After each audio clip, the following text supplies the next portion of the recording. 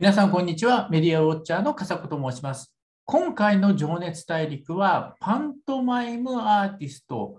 ガーマルチョバヒロポンさんということで、えー、全く知らない方でしたけど、まあ、こういうジャンルですごい人気で活躍される方がいるということを知れるというのは、まあ、非常に面白かったなと思います。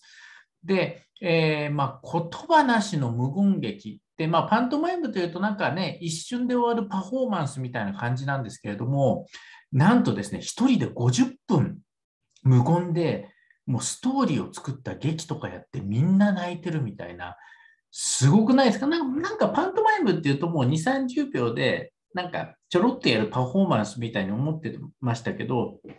50分もかけて1人でもうストーリー作って劇で、しかもそれがすごいのがですね、えー、まあなんというか、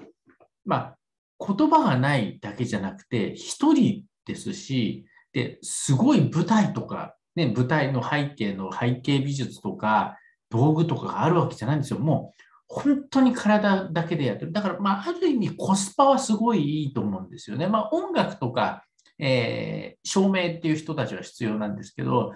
いや、例えばね、それを表現するに、例えばラーメン、ね、レアでラーメンを食べてるみたいなんだったら、ラーメンが必要になるけれども、ラーメンなしでラーメンを表現できたら、まあ、すごいせこい話ですけど、ラーメンを用意しなくてもいいわけじゃないですか。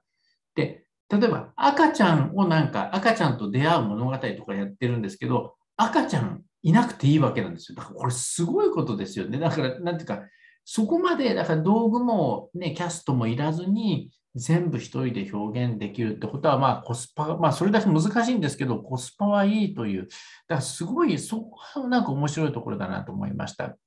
で、えー、まあこの方全然知られてなかったんですけどもう何十年、もう十数年以上前からもうイギリスで大人気と。で、ただなんで今人気になっているのかというと、この東京五輪のピクトグラム、話題になったピクトグラムを創作したことで一躍有名になったということです。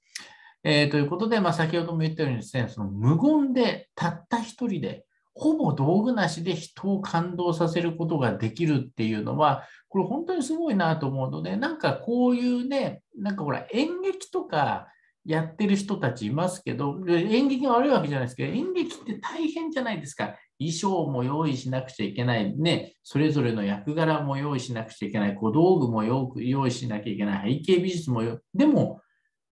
体一つで表現できれば全くいらないっていう、だからそういう世界ができるっていうのは本当すごいなと思うので、えー、まあなんかこの方がすごいっていうこともそうですけど、なんかパントマイムの可能性みたいなのをね、感じたあ回だったなと。まあそれにしても情熱大陸本当に中身がなくてですね、いやなんでパントマイム始めたのかとか、なんかそういうのは一切なく、なんかちょこちょこ謎に、なんかあの、バイクが趣味とか、なんかあの、なんかそういう情報いらないから、なんでパントマイム始めて、ね、今までどうやって食ってったのかとか、イギリスでなぜブレイクしたのかとか、そういうことはほとんどやらないんですけど、まあ、あの、非常に、ね、まあ、こういうね、スタイルがあって、こういう人がいるという番組としては非常に良かったかなというふうに思います。